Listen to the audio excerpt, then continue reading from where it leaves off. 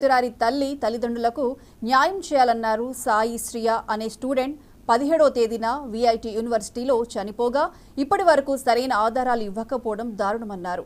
దీనిపై విద్యాశాఖ మంత్రి నారా లోకేష్ మృతురాలి పేరెంట్స్ను కలిసి భరోసా కల్పించారు. ఇక వారం రోజుల నుండి తమ అమ్మాయి ఎందుకు చనిపోయిందని తల్లిదండ్రులు అడిగి తెలుసుకుందామని ప్రయత్నం చేస్తుంటే యూనివర్సిటీ యాజమాన్యం లోపలికి అనుమతి ఇవ్వకపోవడం ఏమిటని ప్రశ్నించారు. మృతిపై. ఐశ్వర్య మృతిపై. ఐశ్వర్య మృతిపై. స్పందించాలి నారా లోకేష్.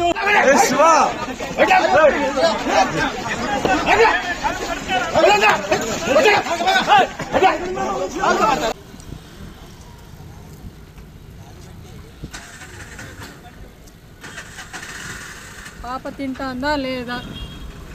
ఫుడ్ ఎందుకు బాగాలేదు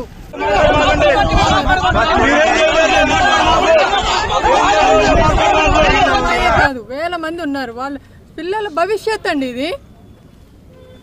నా నా పాప జీవితం కోసం ఒక సంవత్సరం అంతా నేను భయపడి వదిలేశాను.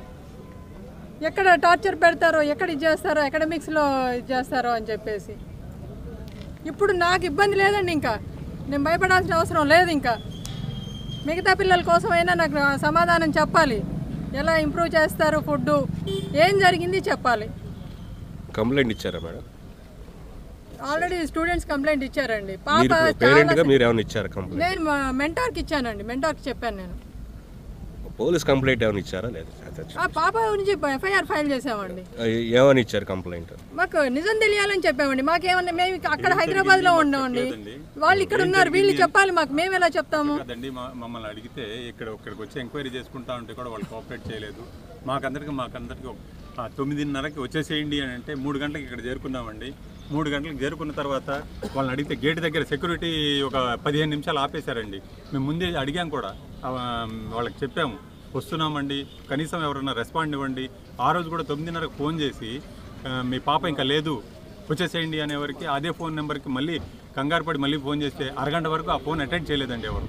తర్వాత అదృష్టవశాత్తు ఒక లేడీ శ్రీలక్ష్మి అనే ఆవిడ రెస్పాండ్ చేస్తే రిక్వెస్ట్ చేసామండి కనీసం మాకు భయంగా ఉంది. ఒక ఎవరో ఒకరిని ఆ ఫోన్ నెంబర్ రెస్పాన్సిబుల్ పర్సన్ అప్పచెప్పండి అప్పచెప్పి కూర్చోబెట్టండి మాకు టెన్షన్గా ఉంటుంది. ఏంటి ఇది వాస్తవం కాదా?